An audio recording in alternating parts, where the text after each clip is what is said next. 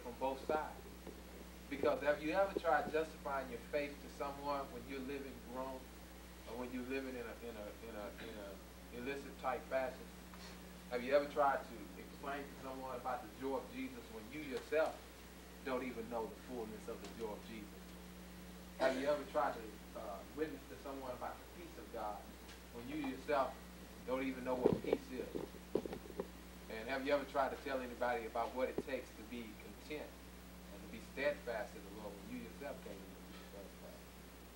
The hardest place to be in a battle is caught in the middle. So you got to get yourself out of the middle. And that's why the Word of God is so important.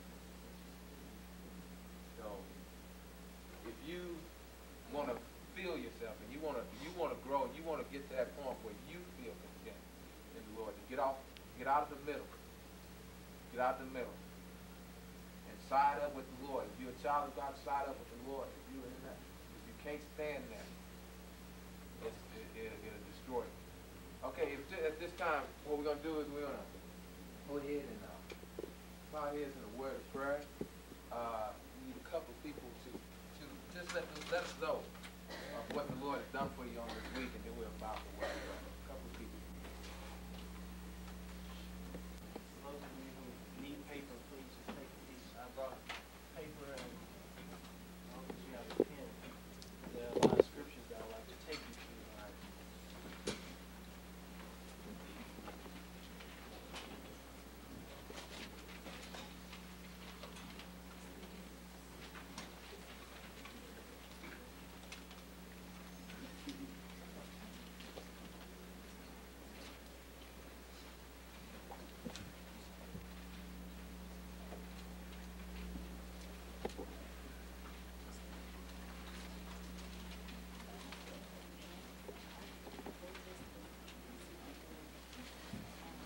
That's why I thought it should-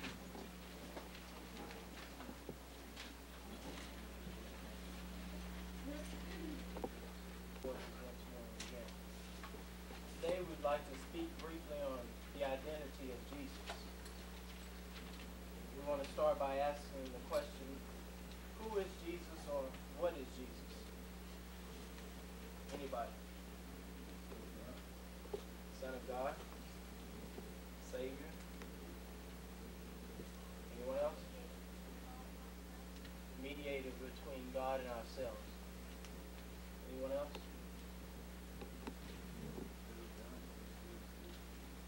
I'm sorry. The Lamb of God that takes away the sins of the world. All those definitions are correct. Um, now I'd like to ask you, is there more than one Jesus?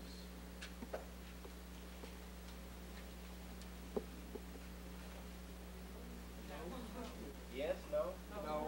No? Okay.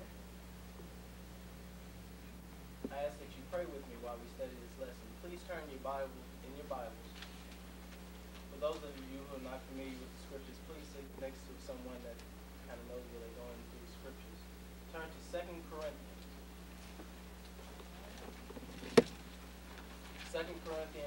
11th chapter, the third and the fourth verses, we have to find the priest and have to read from the text.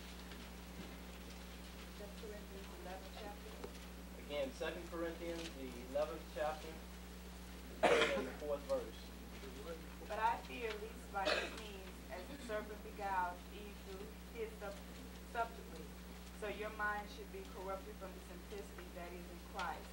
For if he that cometh another Jesus, whom we have not preached, or if he receive another spirit, which we have not received, or another gospel, which we have not accepted, ye might well bear with him.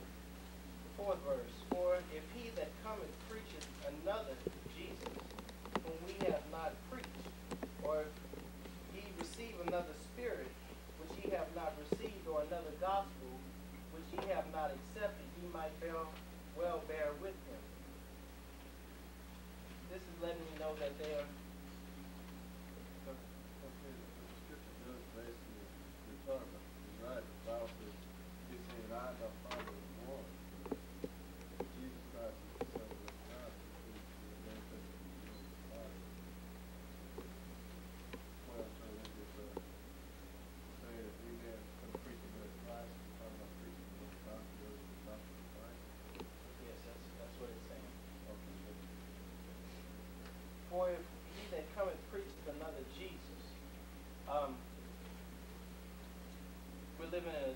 time where a lot of people are teaching a lot of false doctrines. And you have a lot of false prophets.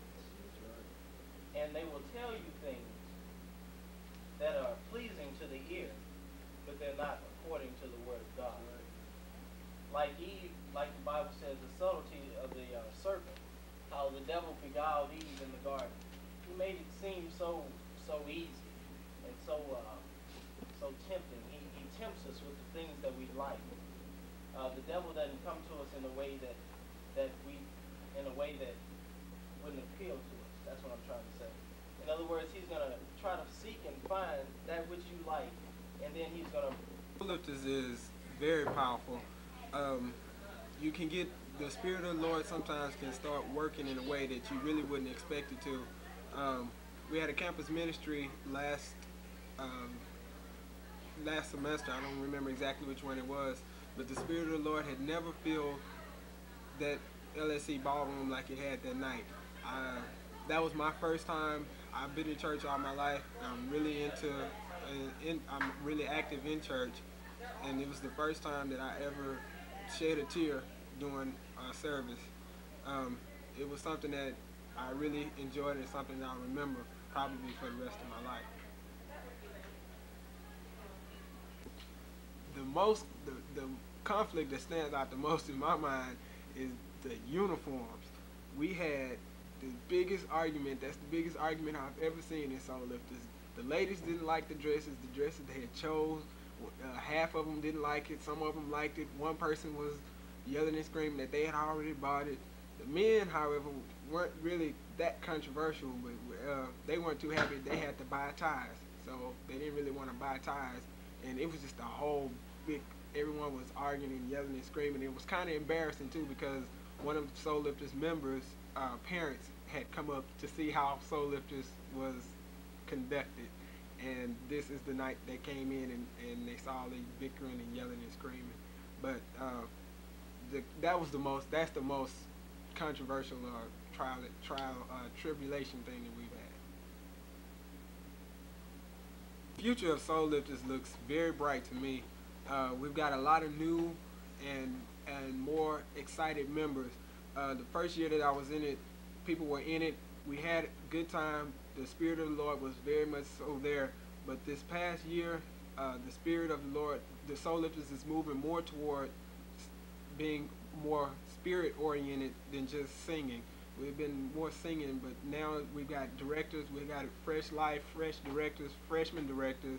We have a lot of new spirited members who are more in, more thinking more towards lifting up the name of God than just singing a song just for a reason. So the, the future of Soul Lifters looks very bright. The goodness of the Lord, um, the Soul Lifters ministry. Um, my personal opinion, I believe that we're able to reach a, a lot of people that we would normally reach in Bible study because a lot of people don't come to the Bible studies. But um, I guess you can say uh, music is a ministry, and it is a ministry because we are able to reach people that would otherwise not even get an opportunity or a, a chance to hear what God, who God is, and what God can do for them, and just in general, all about God. In Soul Lifters Choir, we need to realize, first of all, that we are or an organism that is looked upon by the whole Sam Houston State campus and by others over over the nation. And we need to realize that people watching watching us no matter what we say and no matter what we do and where we go. Um, somebody is watching us. Um, I believe that there's going to have to be more of a commitment to God first of all. Um, if we're going to cause if we're to call somebody else to come to Christ by us ministering, we're going to have to live the life. And we're going to have to do as the Word of God says, if my people, which are called by my name, would humble themselves and pray and seek my face and turn from my wicked ways, then will I hear from heaven, then will I heal their land.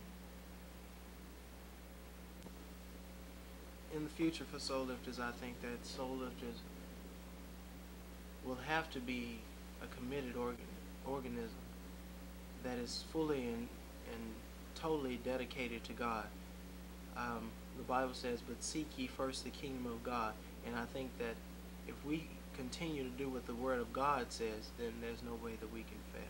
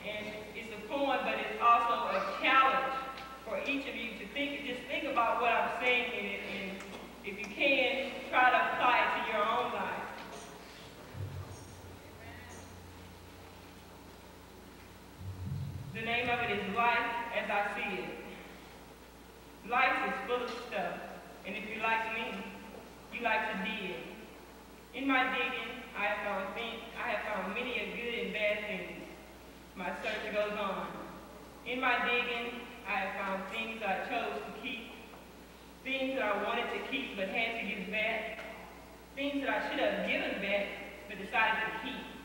All sorts of things. Listen close.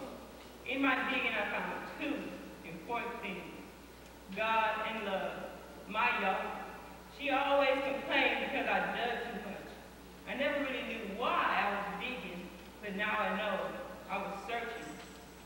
Not for just any piece of junk, but a treasure. My heart was lonely in those days. My temper was short, not to mention just plain old mean. But God saw my needs. I said all of this to say, if at some time you find yourself digging, don't dig for years like me, but dig in your heart, dig in your soul, dig in the word of God, and then let him dig in you.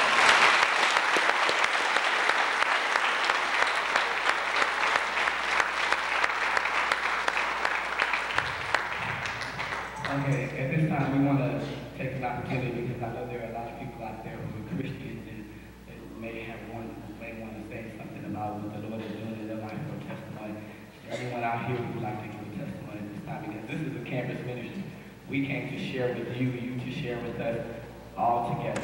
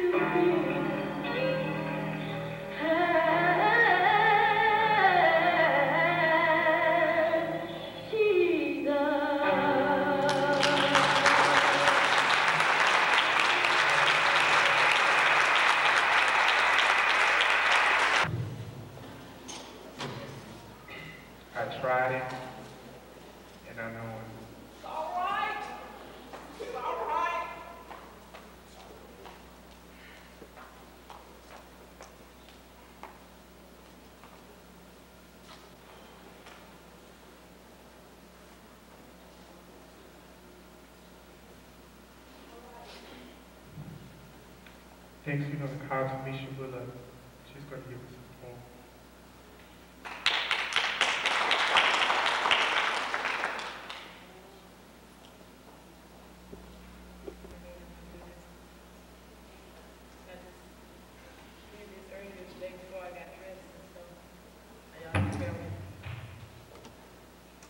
The time of this is The Time is Now, and I hope that there's a message in this for everyone.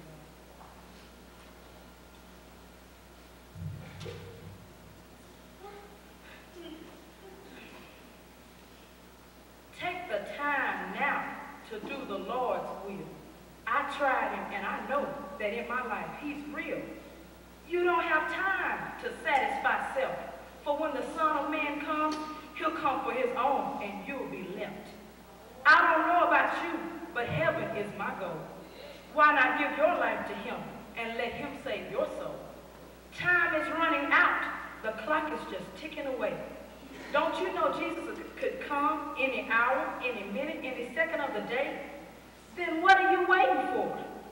Since I've told you that the time is so short, if I were you, I'd take heed of his word and let the Lord change your heart. You don't want to be left here, not after Jesus is gone. Without Jesus in your life, believe me, you're all alone. Hell is too hot for you or anyone to go. Please listen to me. I'm telling you something that everyone should know. Do you really want to go to a place where there'll be crying and gnashing of teeth? A place where there'll be sorrow for all eternity, all because of your unbelief? Why not go to a place where pain and, pain and suffering shall be no more? Only joy, peace, and happiness will reign there forevermore. Please let the Lord change your life before it's everlasting too late. For my friends, the time is winding up. You don't have time to wait.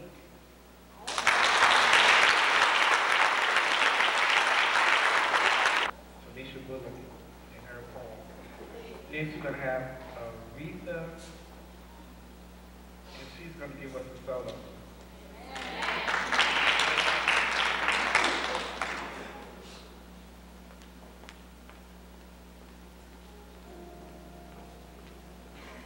for being here today.